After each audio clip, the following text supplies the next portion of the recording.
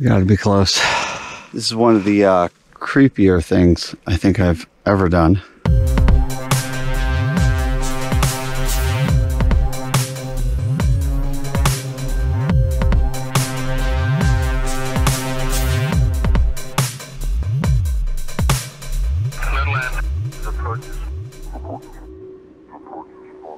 Hey everybody, Sintax77 here.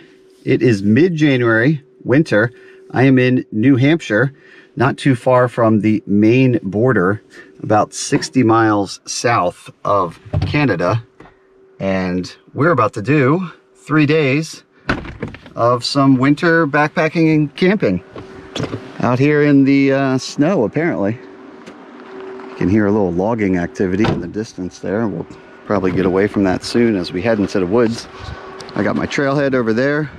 I got snow on the ground. Three days ahead of me. Just gonna try to have a little fun in the woods and uh, maybe a little history too on a more somber note. Um, well, we'll get into that as we go. But I got the Jeep parked up. I got, uh, unlike my last trip, some actual snowshoes, which means I probably won't need them, but uh, after what happened last time when I didn't have them, I'll take that risk. And uh, I got some fun food. My wife packed up her favorite backpack. Well, it's like a cooler backpack. Uh, she packed up the Torit with some real food for this backpacking trip, as well as some fun meals for when I get out of the woods. Hopefully, we get out of the woods. Um, so I'm going to transfer that into my backpack which is back there. Nice and small, right? I got the old Kaika pack there with all kinds of uh, winter gear and all kinds of goodies. I'll reluctantly put that on my back and we're gonna head into the woods over here. That is the trailhead, so let's do it. Let's see what happens. It's about 20 degrees right now. I think it might go down into the teens or maybe 10 degrees. I got a little bit of light flurries coming down. But honestly, even though I'm in the edge of the White Mountains, which is known for some of the worst weather in the world, uh, knock on wood, my forecast looks pretty good. It's not going to go below zero, I don't think. And more importantly, uh, doesn't seem to be a threat of high winds or snow squalls or storms or anything like that. So, let's uh, do it.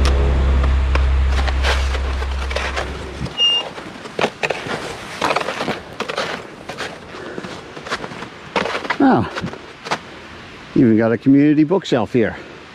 It's actually a house right there, some other houses around. I don't think I'll be taking a book, but that's cool.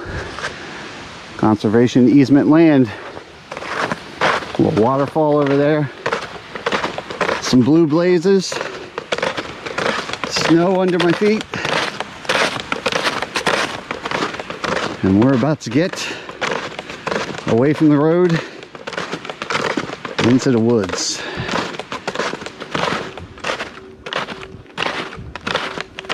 What we got here?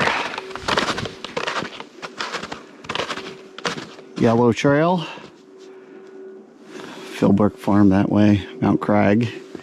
Won't be doing that, but that's over there. A continuation of Austin Brook this way. Right now we're on an old logging road, which is making for a pretty easy grade. And uh, only got a few miles today, 3.5, less than four, and maybe 1,400, 1,500 feet of elevation gain. Unfortunately, a lot of that is packed into the last mile or so.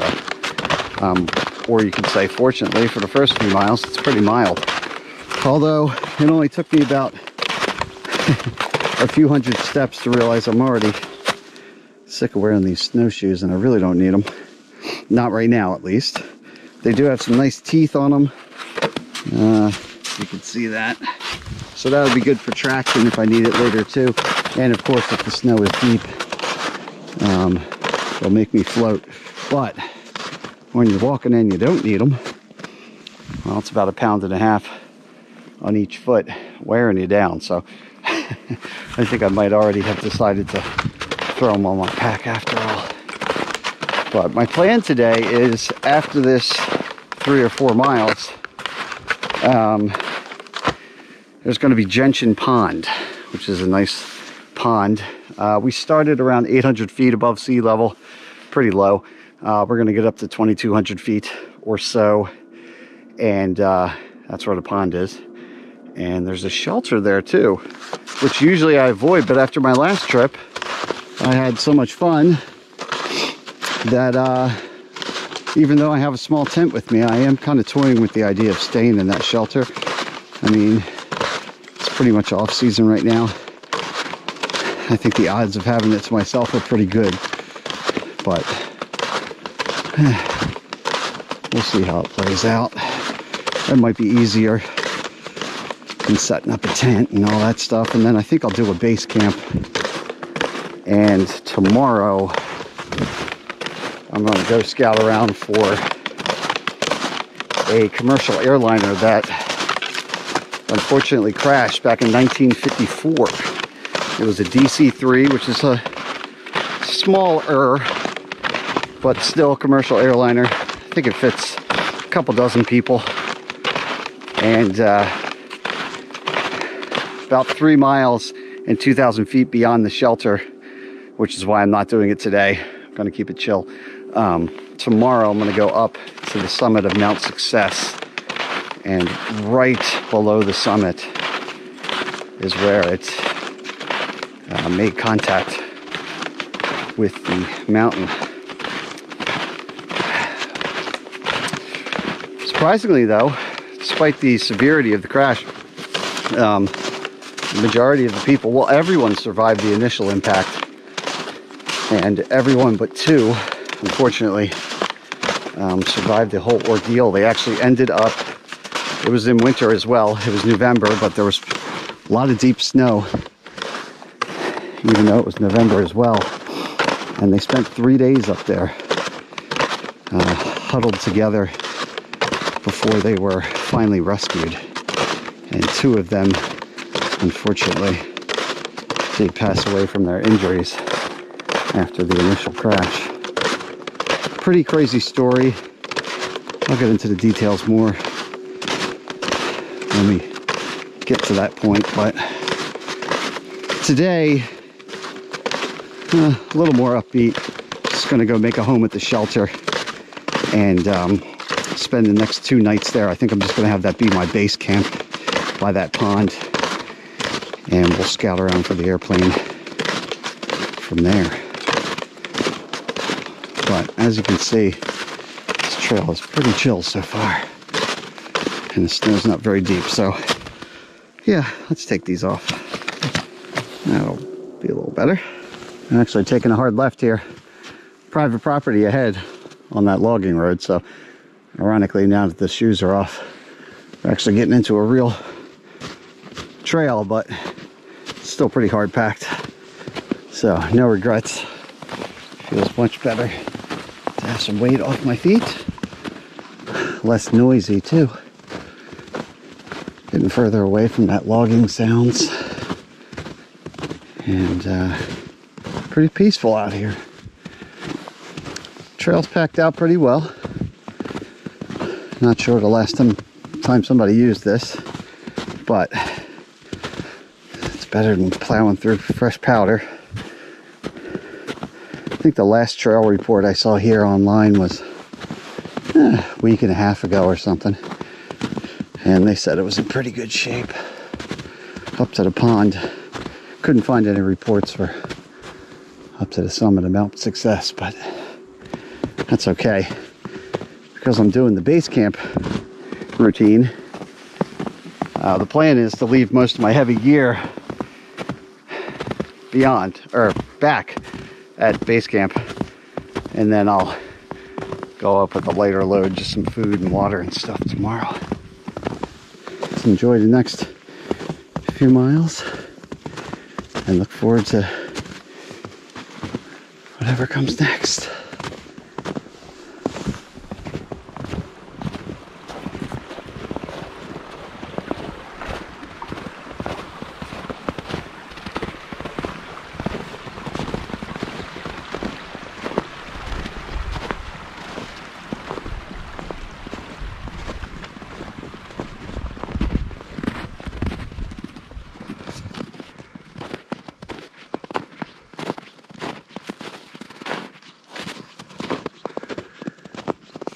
Nice little open area here.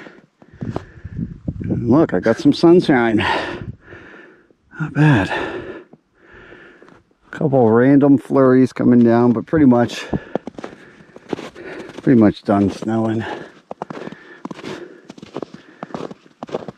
Little clouds in the skies, but also some blue. Not bad. Take a little sun and open skies before I get back into the woods. My goodness, 45 degrees. I get my sunglasses on. Put on, well, take off. I got my Air Force fleece with me for, uh, I don't know, it seemed like the thematically right thing to do. Plus, I hike with this thing a lot. But it is too warm. And there it is, right in front of us. Mahoosuc Range. You can see, I believe that's Mount Success over there. Uh, that airplane site is straight ahead of me. So we're headed up into those mountains. They kind of curve over here a little bit. The pond is in there and a little divot. And tomorrow we'll head up to the very top. But we're to go just a little bit like halfway up them today. Nothing too bad. As the wind picks up, final mile, final push, Gentian Pond campsite and shelter is where we're headed. North Road.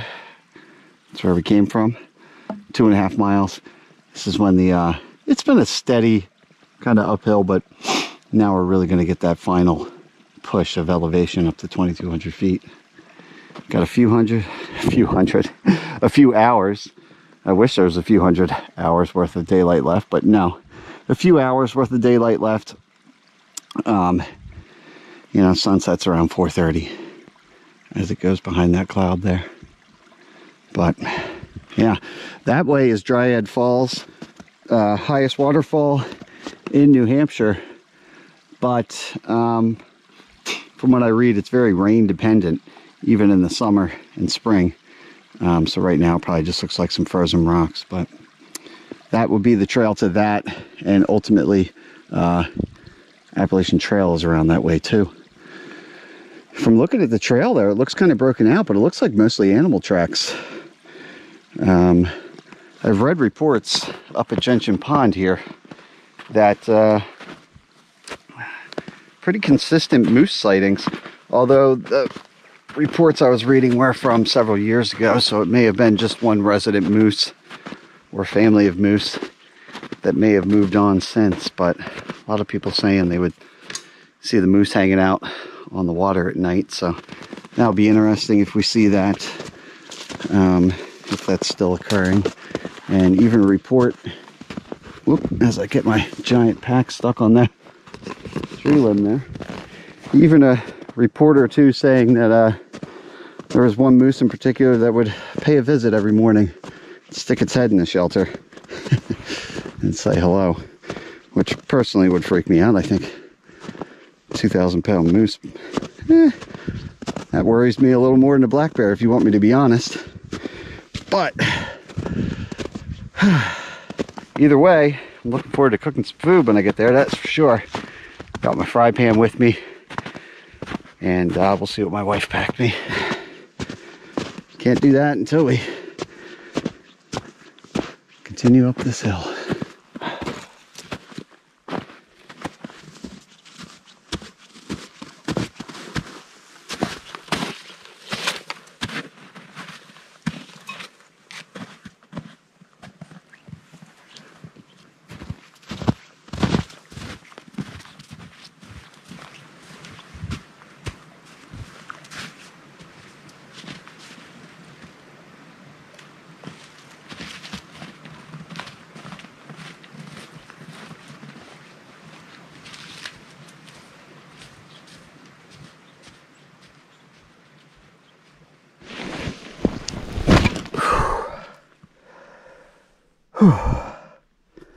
All right.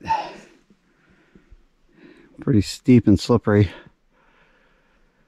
Not too worried about my footing. It's just, uh, I think I've finally hit the point where I'm going to break out the uh, poles.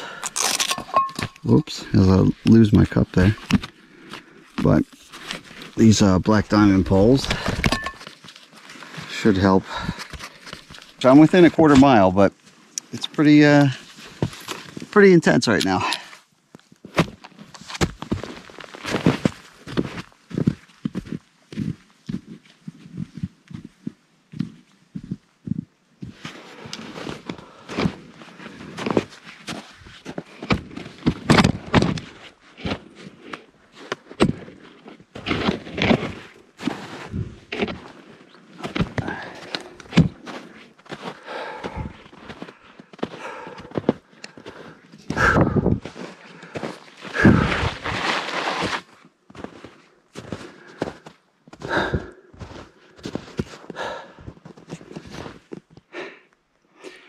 think we made it.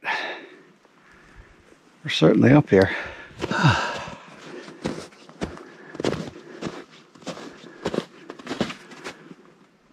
Gentian Pond Shelter.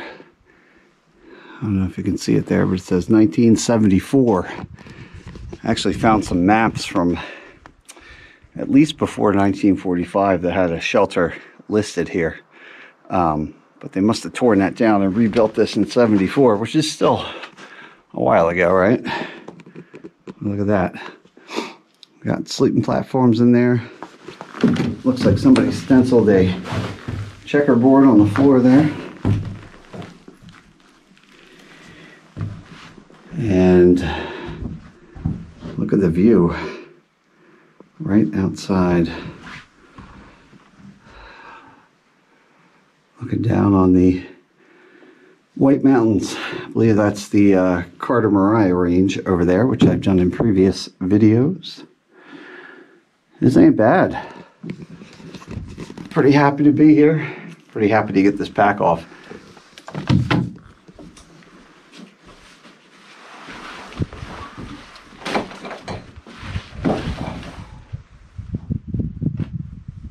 Oh, yeah. That's right. No fires here. Oh well. Fair enough. Guess that'll be less uh,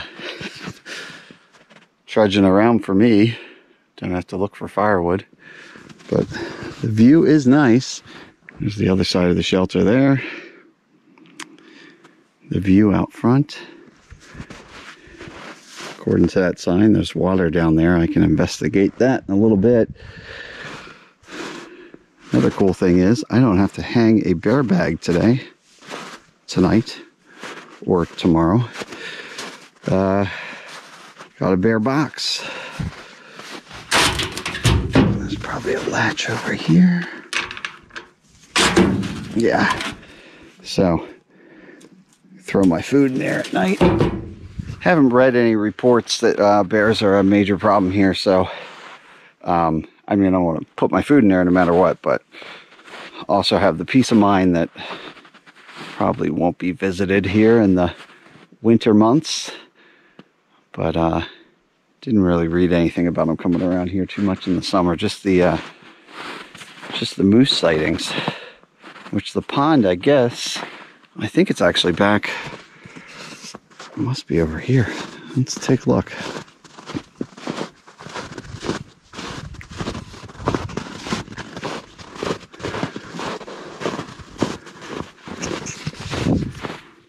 Okay, it's out there through the trees. I think you can get a better view of it. The uh, trail wraps around to the side up there, but I'm seeing some deep post holing around here.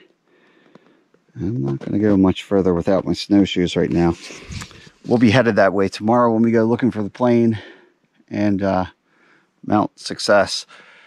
So we'll save that pond view for tomorrow as I carefully get back to the shelter. I think for now, my uh, main objective will be just kind of settling in and making a home for tonight.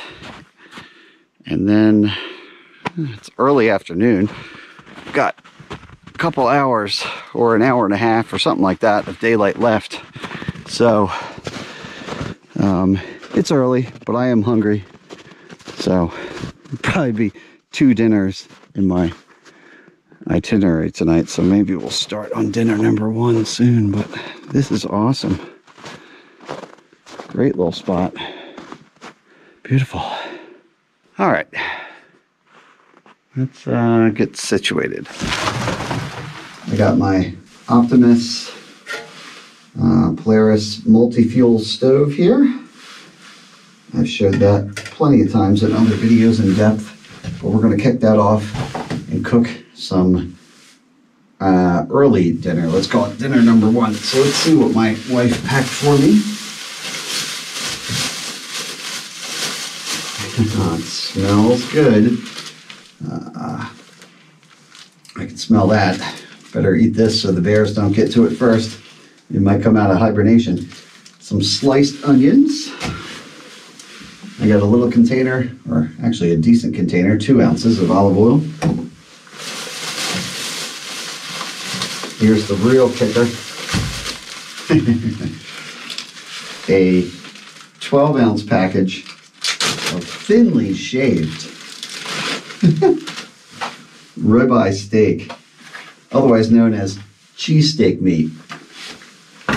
So you may not be surprised if you're from Philly. What's going to come next? There's some salt and pepper. I got three Philly baked rolls. I got the club rolls here. Um, you know, just so I can cook and eat and keep everything nice and hot. These are uh. They're not the uh, Amorosos, but I don't know. You tell me which is better. But that's what I got. Either way, they are legit Philly rolls. Oh, I did not know she did this. This is a package of cheesesteak pickles. She sliced them up for me. I got some dried out Caribbean red hot peppers that I showed on my last video. And of course, can't have cheesesteak without cheese. I got some uh, provolone. If you, uh, I don't know, some of you might like whiz if you're from the Philly area. I've never really done that. I don't know, but that's just my thing. I like provolone, some real melted cheese. So we're going to make some Philly cheesesteaks right here in New Hampshire. Let's get down to it.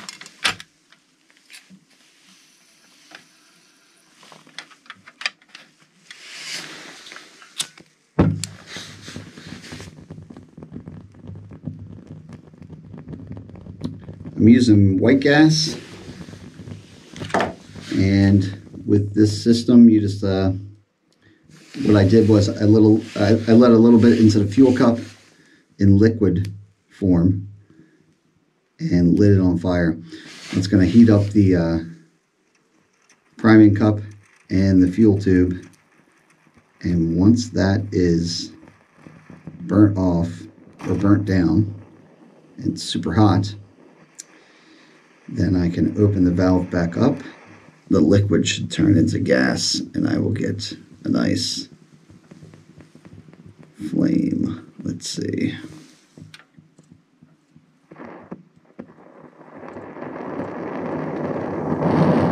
There we go. Almost there. Blue flame, that's what we're going for.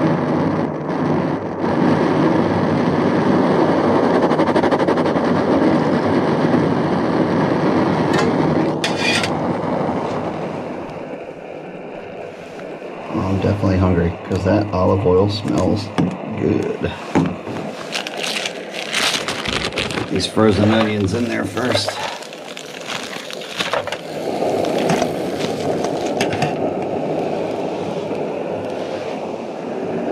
A little bit of daylight still left. All right, onions look good.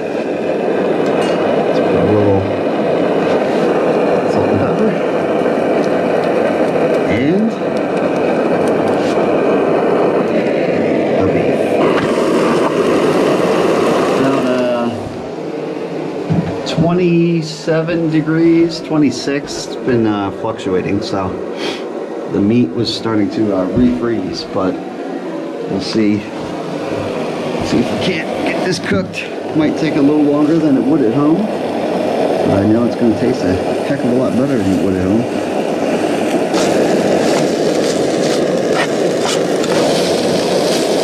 Pickles are starting to freeze.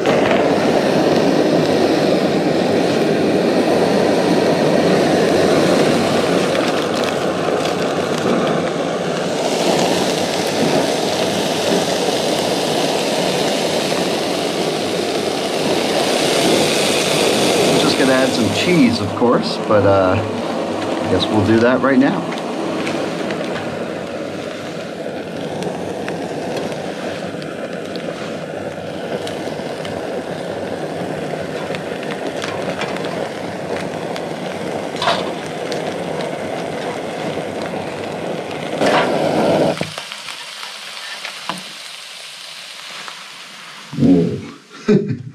that is some melty cheese. My goodness, that is incredible. The pickles are perfect. A little crunch, a little heat from the uh, Caribbean red peppers. Middle of nowhere. Eating a cheesesteak. Good day one.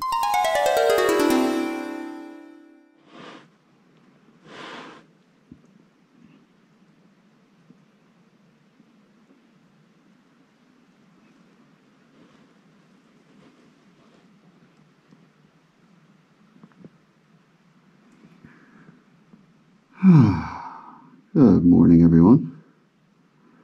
Not a bad view to wake up to in the morning, that's for sure. It's uh, after 7.30. I've been laying here longer than I want to admit, just enjoying the view, watching the clouds roll along. Uh, it's only 24 0.6 degrees, which is awesome. I'll take it. But yeah, I've just been laying here in a state of laziness. but I suppose I should probably get up and uh, we should get on with our day here. Sleeping pad worked great. Same one for my last trip. All my gear is pretty much the same as my last trip, so that's my um, Amok fuel winter light hammock rated down to like one degree Fahrenheit. And I brought my zero degree hammock gear quilt. Um, I'm just wearing my Russian surplus hat to keep my head warm. And uh, my Outdoor Vitals puffy jacket has an excellent pillow. Although I have the Outdoor Vitals inflatable pillow too, but I got a little cold last night and I couldn't figure out why because usually this combo is good, but um, I think I figured out it was just because I had my head propped up on that pillow, which I love, but I doubt that pillow is um, winter rated in terms of R value. I'm just assuming because when I switched to the uh, jacket, puffy jacket as a pillow, um, I felt warmer. So I think it was just making my head a little cold to have it up on that inflated pillow. but yeah, I feel good. So I guess I'll stare at that view a tiny bit longer and uh, get going here. Get some boots on. All right. Let me show you the advantages of uh, insulating your water bottle versus not because it is 24 degrees or whatever. This was from the car yesterday. And it's, I'd say 85% liquid still. This liter water bottle for 40 below neoprene insulator is all it took to keep that from freezing. And a little shaking. Yeah, there's some slush in there, but it's alive. Regular disposable plastic water bottle. Frozen solid, unusable. So, definitely helps to have an insulator for your water bottle. Um, what I think I'm going to do is take my 750 mil uh, pot here. It's going to heat up water out of this guy to near a boil, and then I can pour it uh, into the frozen water bottle to thaw it out and make this bottle usable again um, and probably pour it back into here too. Um, and then at some point I'll go down to the stream right over here. Hopefully that's flowing and grab some water, um, which would be real nice compared to melting snow, which would that's fine. I'm prepared for that, but that would add hours of uh, chore time to my situation versus just grabbing some water out of the stream and then throwing in some. Uh, I got one here. Um, just little purification tablets because um, they don't freeze like filters do. Boil water, make breakfast, get some energy.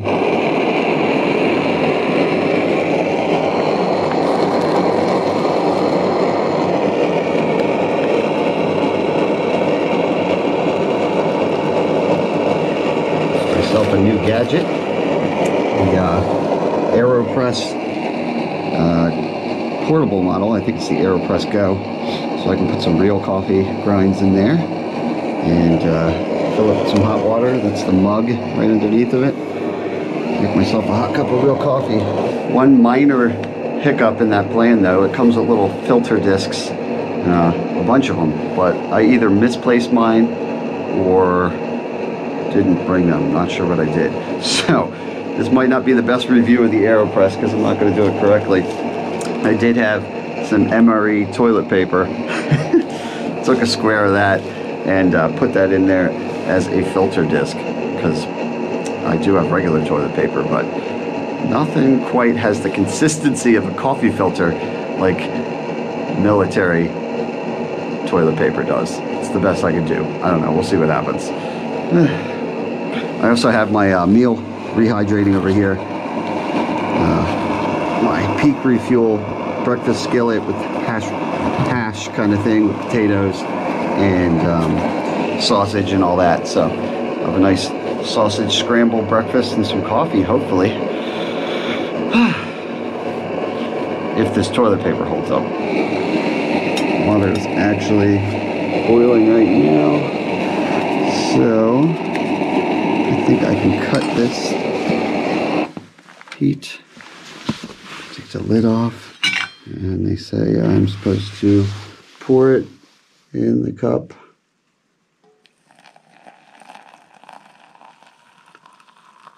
I think up to the number three. Hope I'm doing this right.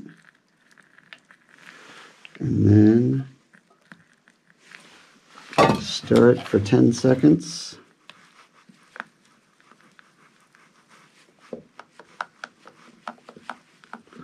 Looks like some of it's filtering through already yeah, I probably didn't do this right, but that's okay. I know the amount of water in this cup is, this pot is the same amount that the cup holds, so I'm just going to keep pouring. And uh, it's slowly dripping through. And I'll give it another stir with the stir tool. And now I'm supposed to take the plunger and push it through and see if the toilet paper holds up.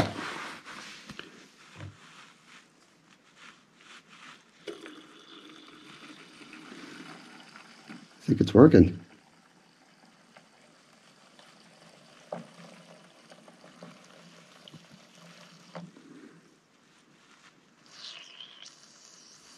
Yep.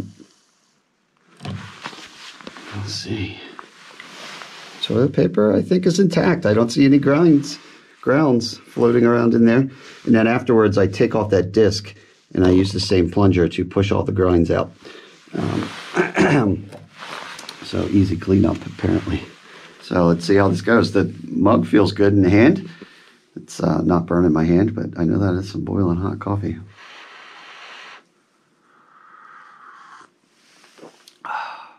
Oh man. I usually do instant coffee on the trail. It's the first time that I've ever done real. Mm, even with military toilet paper, that is some good coffee. I think this is going to get me uh, feeling pretty good. especially when I bust out this uh, breakfast hash over here. And look at that view. Still can't get over that. This is pretty awesome spot.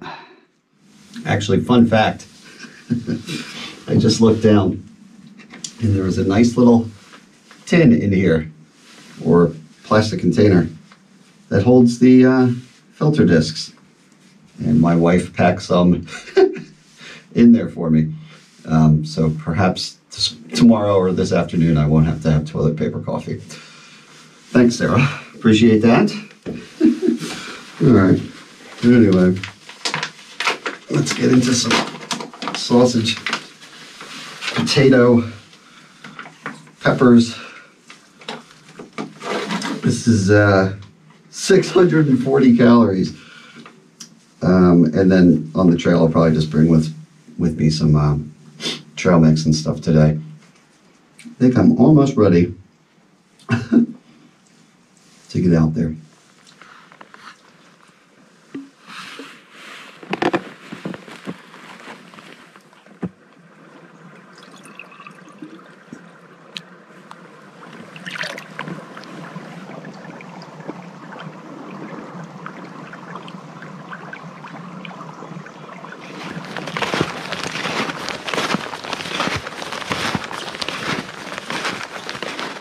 Well, we're linked up with the Appalachian Trail now.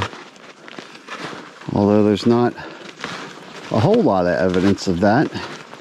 You can see a faint monorail or packed down section of snow in front of me. But doesn't look like anybody's used this too recently. Of course, people doing the Appalachian Trail as a through hike, you don't really do that in the winter. Um, but it's still a major trail, so it's hit or miss if somebody else will be out to break it for you. But in my case, I think I'm the first one on this for a little bit. Luckily, not a lot of fresh powder on the ground, which is good, so I'm not really trudging through and uh, using a lot of calories. But honestly, compared to yesterday, having that, who knows, decided to get a little workout and bring some fun gear, so it was probably 40 pound pack. I, I, I don't even know. I don't want to know. I didn't weigh it. But uh, this little backpack feels great. It's my total pack. It's just a packable backpack. It packs down into itself. I use it for travel and situations like this where I want a separate backpack. So, yeah, the trail's not super easy to follow. There's occasional white blazes, which there should be. That is the symbol of the AT. But uh, not too many, although we are up on top of some snowpack, so uh, a lot of times uh, the problem is you're up higher in the air than usual, so the blazes aren't actually at eye level where you expect them. And in the White Mountains, sometimes the blazes are even underneath the snow, drifts and stuff in winter. But it's going pretty good. I got GPS for backup, I got a paper map, compass, all that stuff. and it should be 2,000 feet of elevation gain or so. Got some up and downs along the, along the way. There's a blaze right there. And that'll get me to the top of Mount Success. We'll check that out. And then we'll go poking around for this aircraft.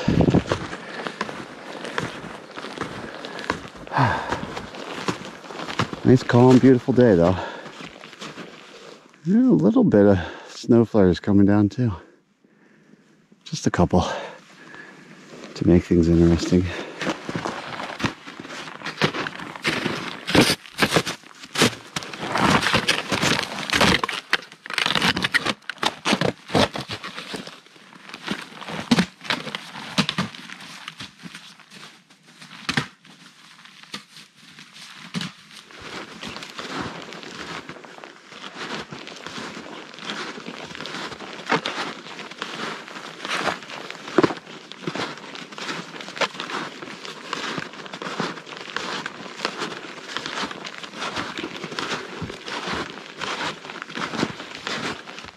It was actually a pretty brutal uphill section. even by summer standards, the snow and ice definitely added to it. I am definitely glad, or I certainly was when I was going up it, um, that I'm doing the base camp thing because having my pack on during that probably would have been a little sketch and demoralizing. But then again, some of the sections yesterday were, and you know, when you're in it, you just kind of go with it, right? But I definitely was glad that I wasn't doing that today. That's weird. All of a sudden, I got some footprints. Oh no. Well, no. Wow. That might be moose. Really don't think. Well, no. Maybe somebody was camping over here. See deer tracks. I'm off the trail. I don't know what I'm doing right now, but that's okay. I don't know.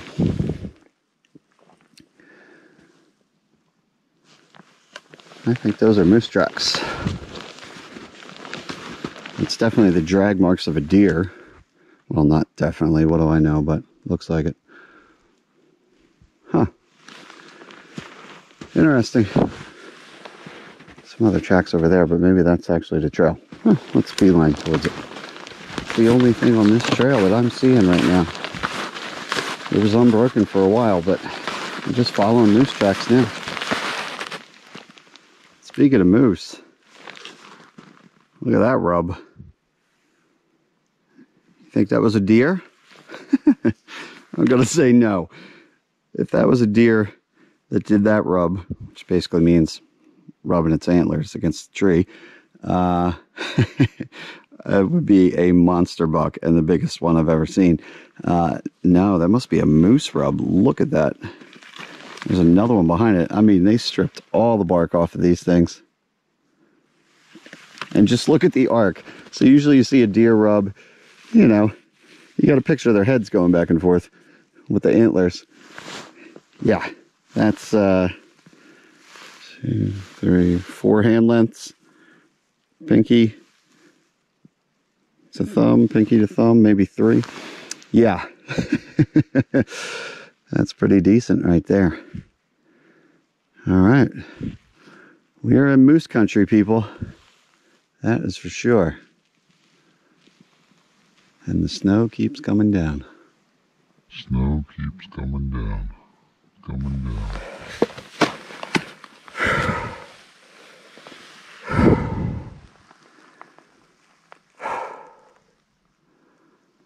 Oh man. This has just been brutal steep. The only thing worse than a steep main trail is having just enough snow to not be able to tell what's underneath for your footing.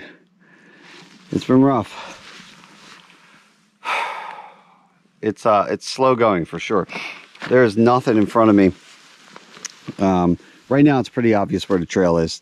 Down in the lower land kind of cols or the columns in between peaks or sub peaks, I should say.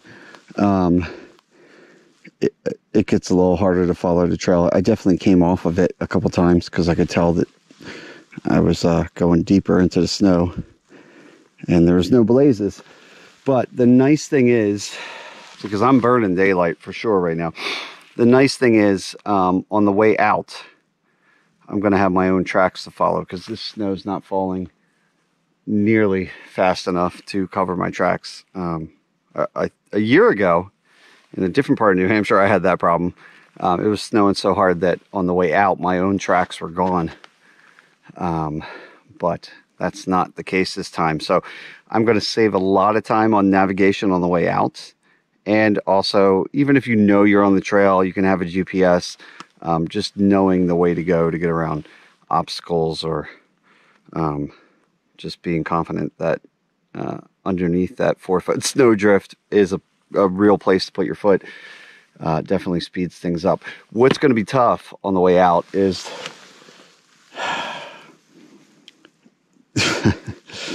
oh, just really steep sections that I'm gonna have to be very careful on, and most likely, um, some of that will be in the dark. I have a headlamp with me. I got food. I got water. Um, I got a first aid kit. I got water purification tablets. So, yeah. But anyway, um, right now I'm only a mile away from the at least summit area, but that will be a long mile.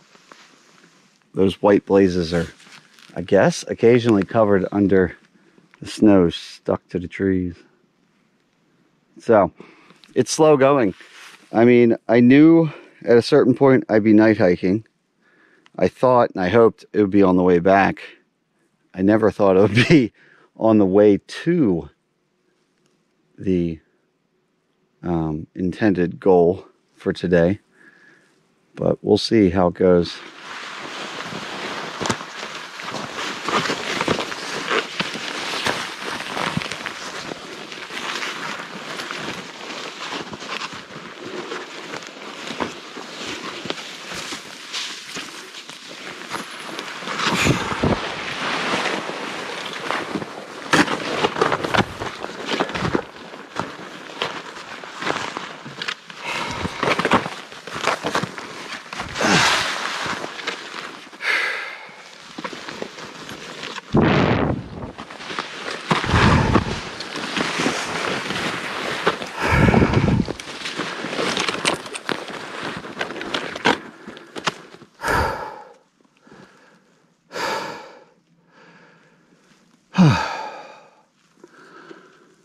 Gotta be close.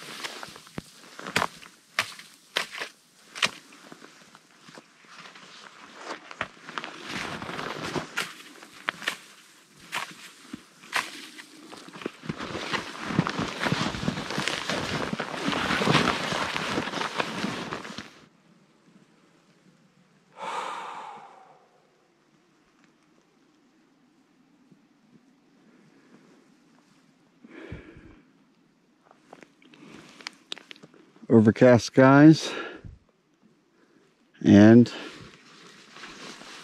10 minutes. 10 minutes till uh, sunset.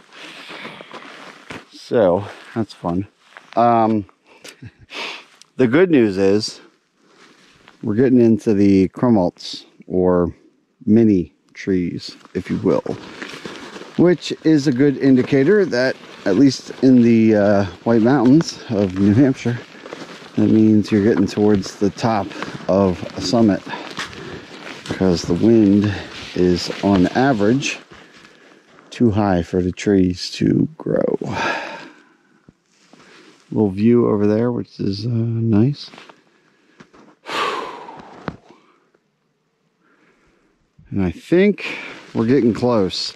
Now we got to get to the summit of Mount Success and then um, we're going to hop off trail and go about a quarter mile through the woods and see if we can't find this resting place for the DC-3 airliner from 1954.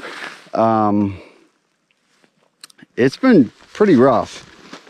Uh, I actually like it up here because the wind is blowing away, or has blown away the snow, it seems. But there hasn't been a trace of human activity on these trails for quite some time, which is made for some slow going and trail breaking, but that's okay right now. Guess I'll uh, consult my map and my compass. Make sure that I'm going the right way. And then try to find where to break off from the real trail and find this uh, resting place.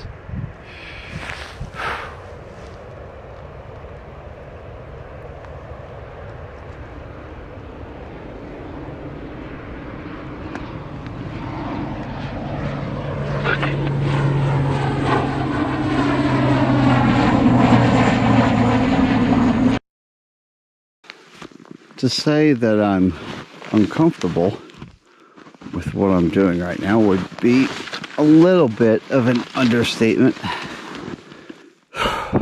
Following the Appalachian Trail in these conditions was hard enough.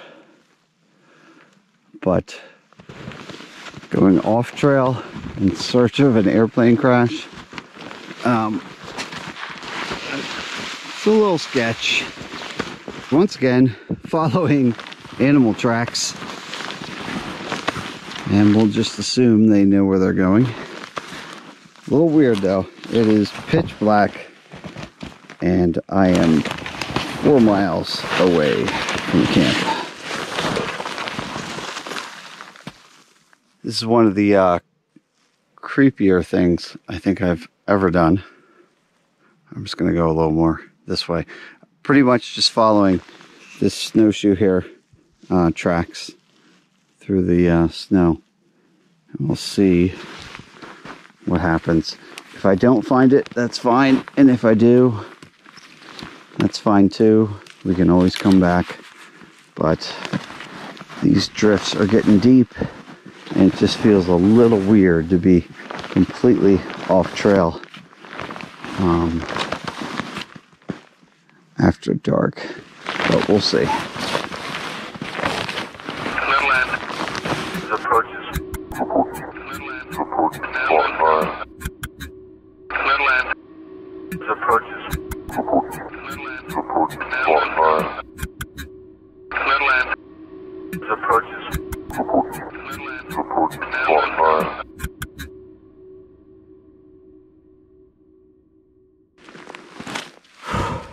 This is one of the weirdest feelings I've ever had. I just walked into this and it is the fuselage. I mean, I'm here apparently. I don't know how I feel about it, but I am. Certainly didn't take most effective route to get here. But it is what it is. I've been just following animal tracks. Oh god, this is creepy.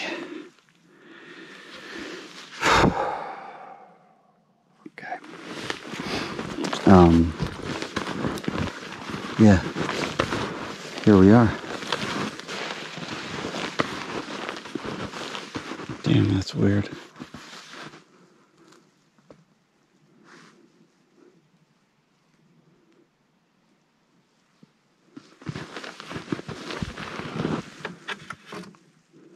Middle of the night. Pitch black. That might be a piece of the wing right there.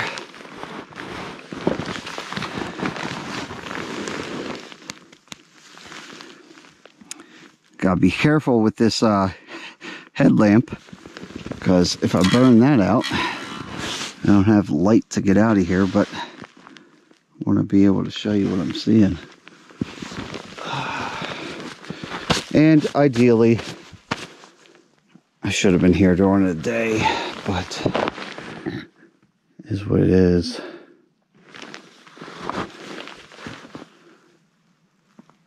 Strange.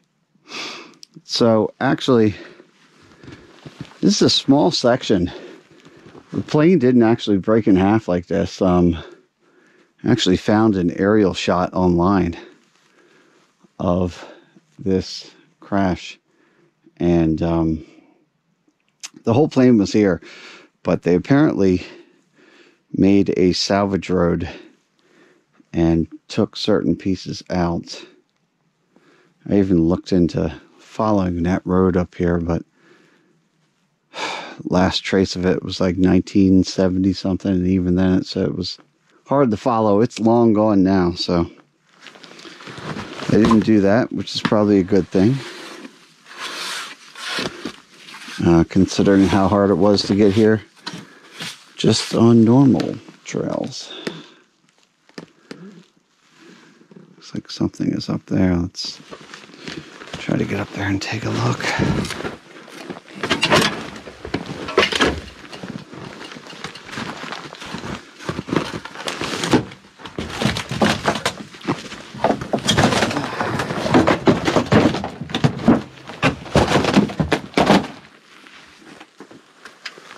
Aircraft body is all aluminum.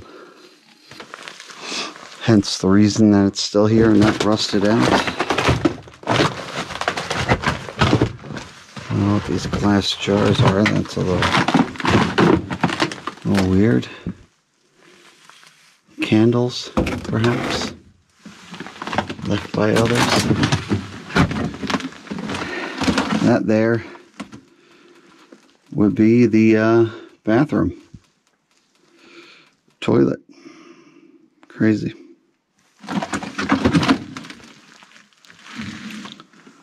Long ago.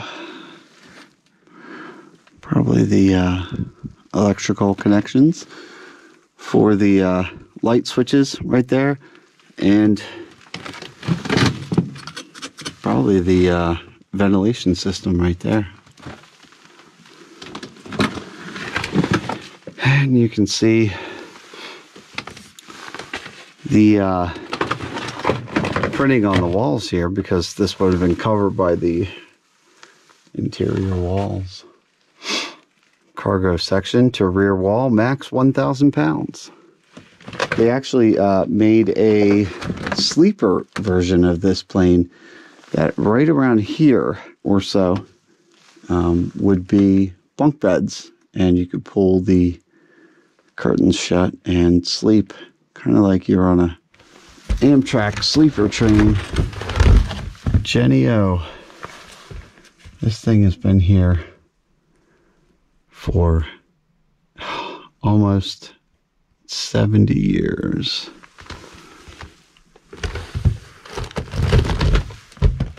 Wilmington, Massachusetts, 1962. A hiker came here. And now I'm here. In the middle of the night.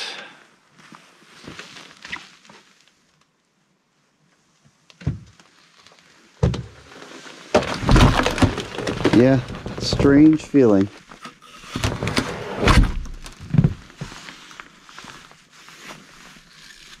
Here we are. So, yeah. Maybe it's uh, anticlimactic. I don't know the age old saying is it's the uh, journey, not the destination. So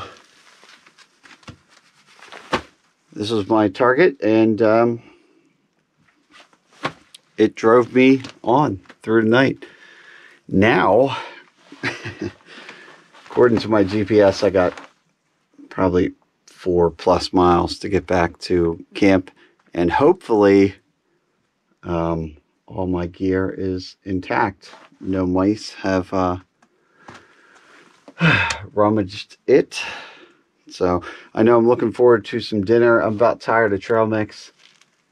So I'm going to just kind of set a beeline through the trail, or I should say through the woods, and hopefully hit the trail. Retrace all of my steps, and maybe, just maybe, get back to the shelter, some comfort, and some food.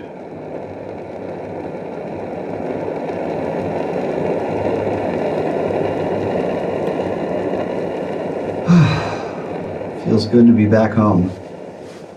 Or temporary home, at least. Little quesadillas. And some salsa. And, uh, yeah, I'm hungry. So this is the rest of my night right here. have some food, digest, and hit the hay.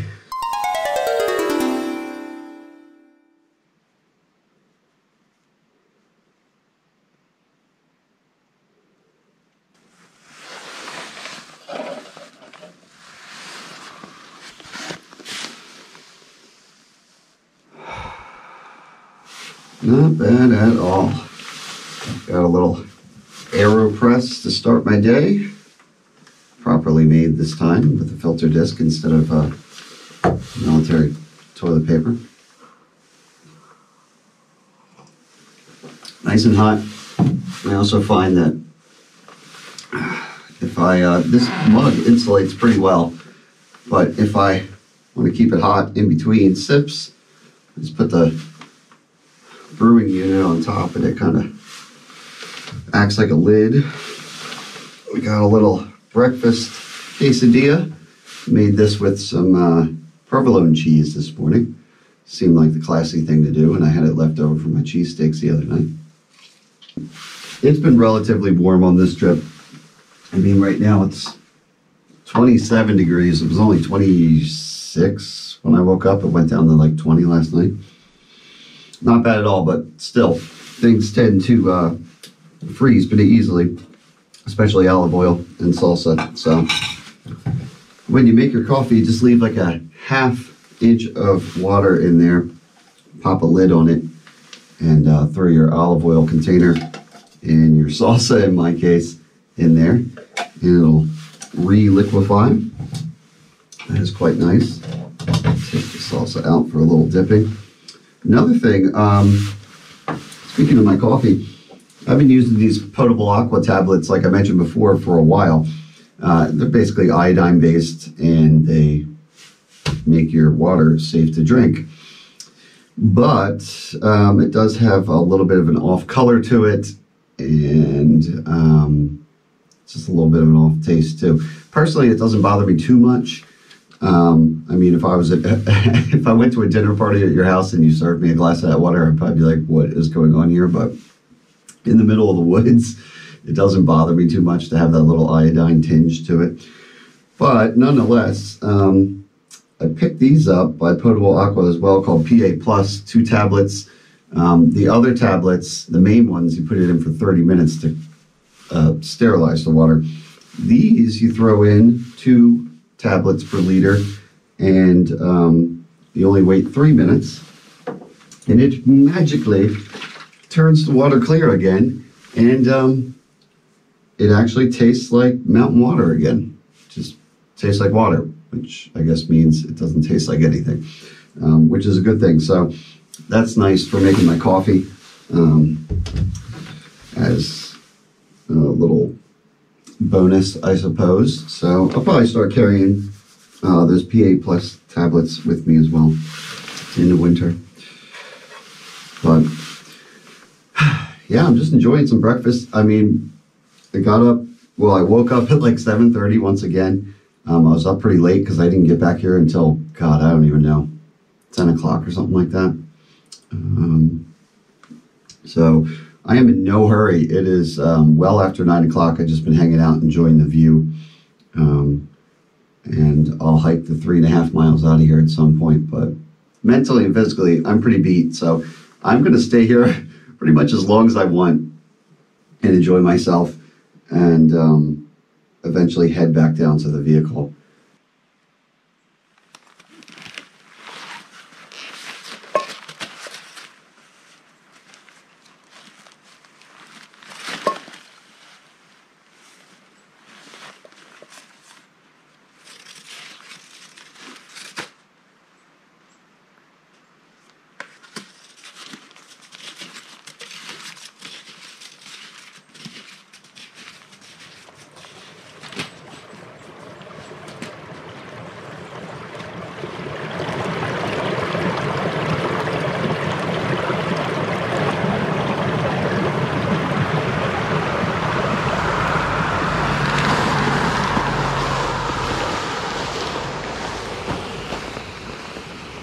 Just like that, back to the turnstile, back to the Jeep, back to society. leaving the trail behind. That was a good trip. I enjoyed it. Uh, but at this point, eh, I don't know what time it is. It's probably uh, going on three in the afternoon. And I am a bit hungry and tired. Ready to relax. So I'm gonna dump the gear and with visions of flame broiled goodness in my head, fire this uh, Jeep up and get myself off to a hot shower and a hot meal. So, oh boy, that feels good to get off. Yep, there it is. There it goes. No more pack, no more snowshoes. Did things go exactly to plan? Uh, I'm gonna say no, but that's okay. I like the way the trip ended up. Um, it was fun. Would I've liked to maybe explore that crash site a little better? Probably, but I definitely won't forget uh, how I found it. That is for sure. So I think I'm just gonna let that be. It is what it is. That's how it played out, and uh, I'm good with it. So didn't really show gear a lot on this video. Um, if you're interested, I'll put a uh, just check out the video description, or you can go to sintax77.com. I'll put up GPS data and all that stuff. But yeah, that pretty much wraps it up. So till next time, I'm Sintax77, and right now it's cheeseburger time. Little end. Approaches. Little end. Approaches.